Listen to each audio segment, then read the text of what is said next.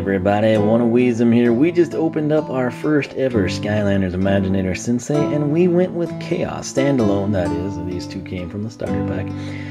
And you might be asking yourself, how does one follow up Chaos? What can we do? I've got a couple of choices here. Uh, what I'm going to do is just go in my order of appeal.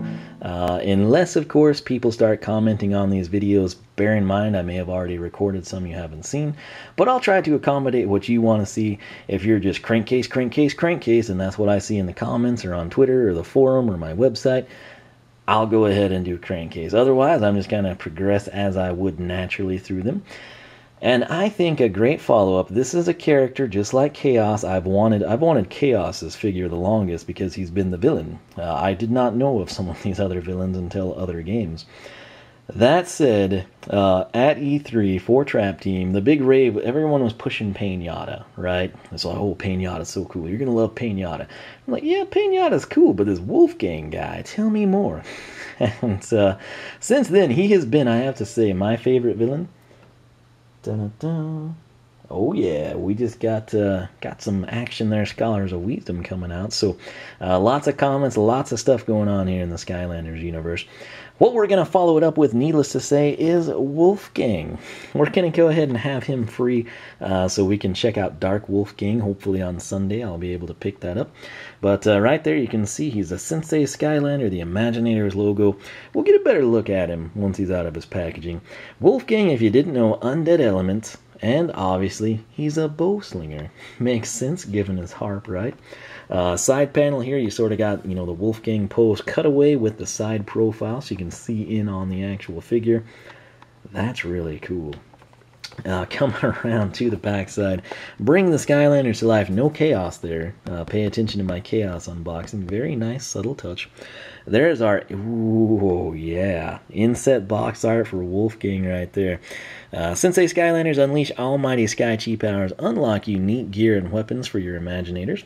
There's over 30 to collect, also featured Ambush, Airstrike, Barbella, Ember, Magic Air, and Earth Creation Crystals. So, when we unbox these, there's two things we need to do. We need to come in on the side, there's just a folded over, you know, sort of like tape dot, if you will. That may even be the correct terminology. If not, it should be, because that's what it is. It's a circular dot with adhesive on one side. Uh, these are extremely well done. The top of these, awesome. Uh, it's something uh, you can appreciate it here, but in person, you're really, really going to be impressed by this. When I took the starter pack out of the box, this was just like the holy grail was in front of me. You saw just literally nothing but the tops of these boxes, and it looked amazing.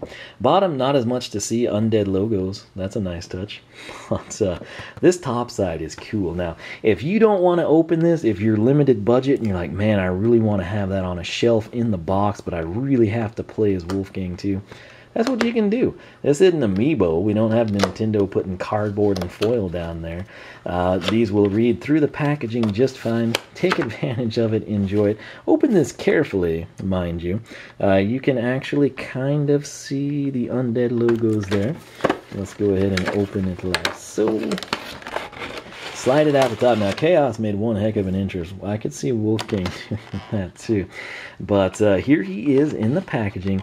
No stickers, no stats, no card, no Battlecast card. Nothing in that regard, which is kind of sad. I would have loved to have personally seen a Battlecast stat card hybrid, which at a later date the Battlecast side could be implemented into the game.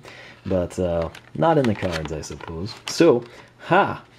you see what I did there? Not in the cards. I didn't even realize it until I said it. anyway, let's go ahead. Uh, the strategy here, we just bend that at 45 and then here at 45. I'm going to hold him by his base. Wow. Yeah, there we go. So these are a little bit more difficult to open. And plus, I'm used to the Amiibo, which to the Nintendo's credit, if you do actually open Amiibo, they, they come out real nice and easy. Uh, these things might be if you're like, I just want to pull them out for a picture and then put them back in. Wolfgang might not be the ideal character for that. so we will see. Oh, that base is amazing. Okay, I predicted the undead base would sort of be like, you know, the traditional gray, the ethereal, basically what you see here on the packaging, right? around Wolfgang. By the way, a slogan, Let There Be Rock. I don't think we covered that. What it is instead is this really, really cool. It's almost like, I would call it like a sinister cobalt if we were painting a car in that color. Uh, it's got a little bit of like, I think, a metallic to it, but it's it's like a, it's like a blue gray with an ethereal green, if that makes any. It's just really sweet looking. Obviously, he is a bowslinger. That is his battle class. Uh, there you see the undead logo on the base.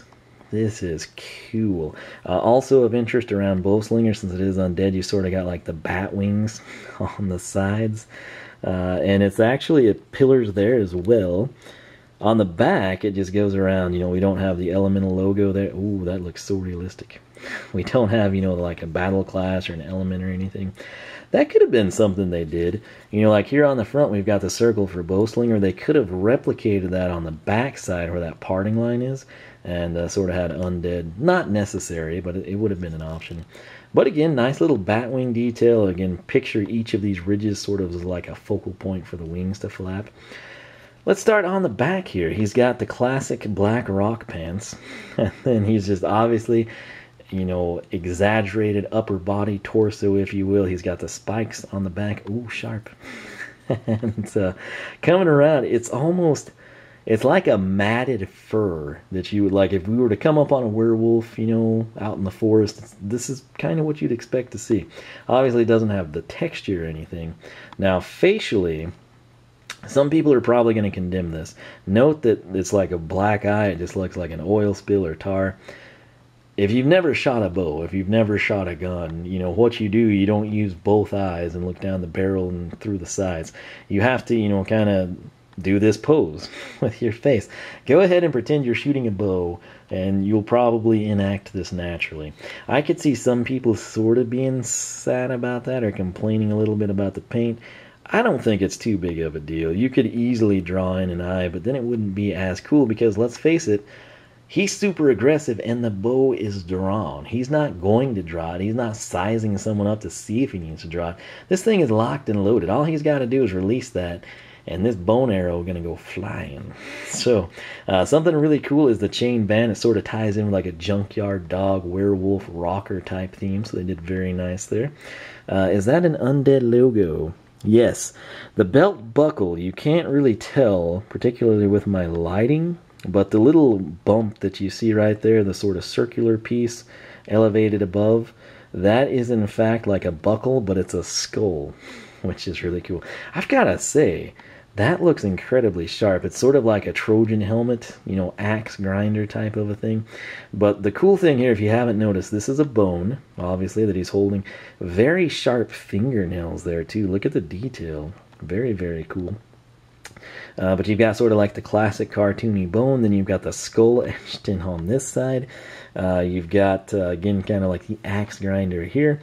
Uh, you've got the strings. You've got the arrow pulled back. I think they did a pretty good job with this. Again, it might it possibly could have been a little brighter, maybe done something different facially. But to have this aggressive of a pose, that's what you need to complement it, in my opinion. Had they have just drawn him, posed him with the bow at his side or the harp at his side standing forward, yeah, both eyes would be open. But this is unique because it's such an aggressive pose, which is really cool. And again, these wider, longer, larger footprint bases allow that to happen. Uh, the teeth, very, very cool, very well done. The tongue, it's uh, the black on the face. It looks worse from this side, and yet from this side, it looks pretty good. I think the lighting has a bit to do with it, and just the eye, really. And that's a lot of black in one area. But overall, I think it was uh, pretty well spot on for Wolfgang. And again, it's the trade off you make with special poses, so we got to keep that in mind. That said, what we want to do again, his slogan, Let There Be Rock, we want to come in and read his bio. Wolfgang wasn't always a werewolf. He was once a handsome, brilliant musician let me keep that. Again, these are just so awkward to turn. That's a handsome, brilliant musician set to marry a beautiful princess. Before the wedding, he planned to unveil his ultimate symphony to all the greatest music aficionados in Skylands, convinced they would love it and instantly hail him as the best composer ever. but they didn't. They hated it, and even worse, it actually hurt to listen to. He had unintentionally discovered the musical note for pain. Being shunned like this drove Wolfgang utterly and completely mad, physically transforming him into the werewolf he is today. With the princess no longer wanting to marry him, he turned to a life of crime, terrorizing the royal subjects and using his evil music as a weapon. The Golden Queen, dun dun dun, so cool to have them in hand finally, not just some trap. Took note of this, see what they did there? Took note. And realized that Wolfgang could make a powerful ally if she could control his rage and keep him in line. But when they were both captured by the Trap Masters, Eon gave these two supervillains a choice. Either go back to a newly reformed Cloudcracker prison, which Chaos broke them out of, or become Skylander senseis, teaching a new generation of Imaginators their formidable battle skills, as well as how to stay clear of a life of crime. They accepted the deal, but first had to prove themselves by rearranging all the books in the Academy's library, a task which took almost two years. Almost driving Wolfgang mad again. Love that they added that in there. But he got through it and realized he could learn earn more respect as a sensei, training the Bowslinger class than he ever could as a musician. Pretty accurate statement there, I would say. Now, also note this is a very cool texture feel here if you haven't experienced that. Uh, the feet just sort of wrapped out, kind of faded in black, uh, but it works. I'm excited to see his dark edition in comparison to this. Now, if you look at this, this is pretty accurate for what they did here. It's just on a larger scale and with more vibrant colors, that looks a lot better. Uh, but again, it's a trade off you take with the aggressive pose, and I'm willing to accept it because, again, it's just such a cool and unique pose. That said, I hope you enjoyed this unboxing. If you did, leave a like, leave a comment, let me know your thoughts. If you're already a scholar of wisdom, that's great. If you're not, check the description box down below to learn some more. But everybody can get a bonus brick here. Comment with hashtag Wolfgang. That will get you a bonus brick in the Wall of Wiisdom. More information on that, again, down below in the description box. This is a great time to join the Skylander Club forum, skylanderclub.com. You can follow me on Twitch and Twitter, my website, oneofwisdom.com. We're going to be cranking out unboxings, gameplay, probably some live streams, all kinds of good Skylanders Imaginator stuff coming your way. So I hope you're enjoying it. Uh, please feel free to spread the word on the channel. Uh, I fight the system. I am not partnered with a third party, um, machinima, etc. None of that stuff. Uh, just kind of do it on my own, and then I get cross promoted over by those people that join said party partnerships. So I'm sort of grassroots. Again, I've been here since day one of SSA. Uh, I've been doing this as long as anybody. I've probably accumulated more playtime than uh, the vast majority of Skylander people. But uh, your support means a lot, and uh, please feel free to spread the word on the channel. That said, for myself and Wolfgang, let there be rock, let there be Imaginators. I will catch you back here at the pool table for our next Skylanders Imaginators unboxing.